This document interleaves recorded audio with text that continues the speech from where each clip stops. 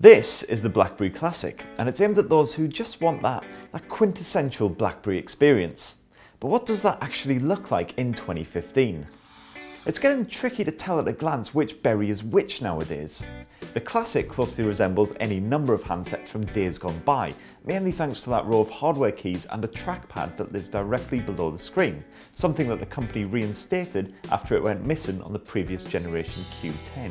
The iconic sculpted keyboard is present too, which is as comfortable to type on as ever, if you're into that sort of thing. And the metal band surrounding the edge ensures that the Classic feels solid and sturdy in the hand if that isn't already apparent by the phone's notable thickness and weight. The textured plastic back doesn't feel great, but it does provide plenty of grip. But being non-removable means that you can't get at the phone's battery.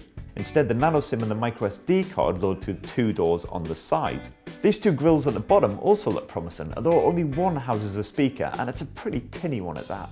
Much like the BlackBerry Q10 from around a year and a half ago, the Classic packs a touchscreen with a 1.1 aspect ratio and a 720 by 720 resolution. Its larger 3.5 inch size will be appreciated for media purposes, although technically this also means that it sports a lower pixel density, 294 ppi, than its predecessor. Despite this, in practice BlackBerry has bestowed a competent display to the Classic. Brightness is strong and suffers little distortion even at extreme angles. Colour distortion is even less of an issue and the UI looks crisp and clear, although the Passport's superior resolution wouldn't have gone amiss here.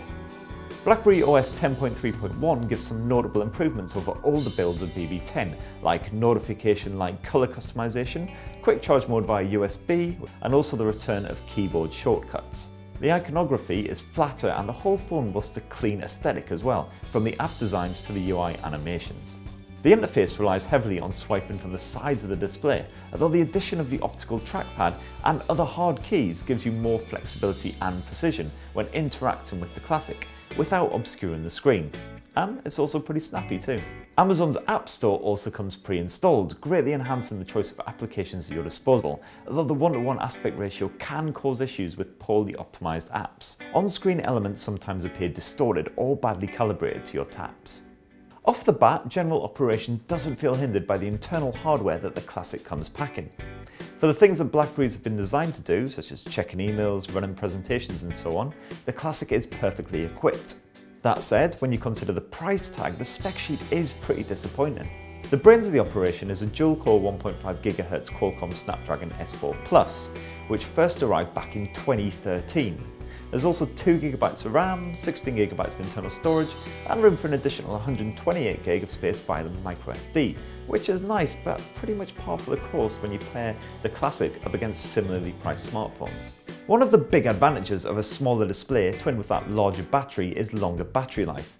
However, despite the Classic's heft, the 2515 mAh cell will see you through a day and a half at best, which isn't terrible by any means, but judging by the device's dimensions and weight, we will home for at least two full days. The battery saver mode will help push things further if you don't mind being a little less connected to real-time events. BlackBerry hasn't brought anything distinctly new to the camera experience that the Classic boasts, but it's actually a competent all-rounder. When snapping stills, it can detect high contrast environments and recommend switching to HDR shooting, Macro shooting provides very pleasing results too. There's digital image stabilization, which works as advertised, and the entertaining time shift mode, which gives you fine-grained control when trying to capture the perfect selfie. The phone's one-to-one -one aspect ratio means that the camera's output will follow suit by default, so don't forget to check the settings and swap to 4 to 3 or 16 to 9 before you start firing out photos and videos. And speaking of videos, the Classic is set to 720p HD by default, and can film in this resolution at 60 frames per second too, but if you wish, Full HD recording is also on offer. So as its name suggests, the BlackBerry Classic is the latest incarnation of all that BlackBerry is known for. Good business chops, security, a solidly built device, and a sterling hardware keyboard.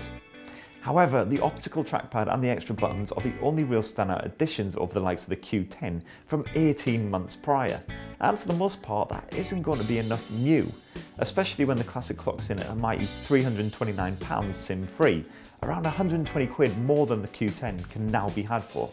If you're looking for a new berry, then the Classic will fit the bill, but if you want a new device that can take on the rest of the current smartphone market, we'd suggest you look elsewhere.